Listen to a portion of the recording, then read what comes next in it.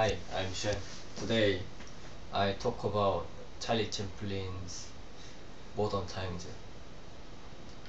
Uh, this is story of the uh, this is story that uh, employer have many employee, but employee uh, don't have didn't have uh, human rights. Mm. I think uh, communist communist revolution uh, must uh, uh, cannot help occurring uh, in the world. Mm. Mm, Charlie Chaplin is so smart, I think, but uh,